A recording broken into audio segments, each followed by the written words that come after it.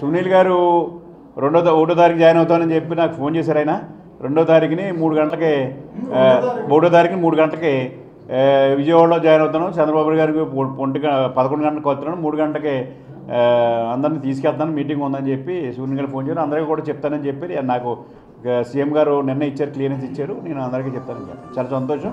రావడం సంతోషంగా బాగా అదే పార్లమెంట్ అభ్యర్థి అయినా ఎమ్మెల్యే అభ్యర్థి అయినా చంద్రబాబు నాయుడు అనౌన్స్ చేస్తున్నాడు. జాయిన్ అవుతున్నాడో అభ్యర్థిగా ప్రకటించే వరకు మేము అభ్యర్థి అని చెప్పము. ఆయన యాస్పిరెంటు ఆయన సే- సీఎం గారిని కలుతున్నాడో చంద్రబాబు నాయుడు అనౌన్స్ అనౌన్స్ చేస్తే మీ అందరూ కూడా పార్లమెంట్ అభ్యర్థిగా భావించాం సునీల్ గారు రెండో ఒకటో తారీఖు జాయిన్ అవుతానని చెప్పి నాకు ఫోన్ చేశారు ఆయన.